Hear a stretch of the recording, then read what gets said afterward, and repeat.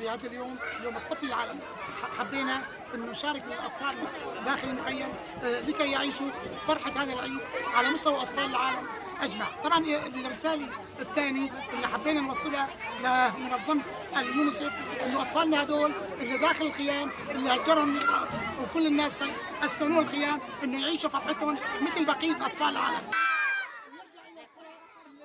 اليوم كان عندنا هاي الفعالية. طبعا اليوم عيد الطفولة اليوم اليوم العالمي للطفل طبعا لهذا الأطفال اللي إحنا ضمن مخيم هاي الأطفال التي عانت من الضغوط النفسي من نتيجة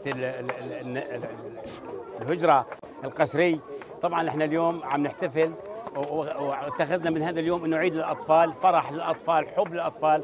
نطلب من العالم انه نحن نريد أن نعيش بسلام نريد أن نحقق الأمن والاطمئنان لهؤلاء الأطفال نريد أن يحققوا الاطفال مطالبهم وهو أقلها التعليم. يجب علينا أن بهذه المؤسسة التربويه والتعليميه انه نحن نناشد العالم نناشد كل من يقول نحن فينا منظمات إنسانية انه نحن ها هنا في أرض المحرر أطفال سوريا هم يقولون نناديكم من أجل أن تقفوا إلى جانبنا من أجل أن نرتقي بالعملية التعليمية والتربوية.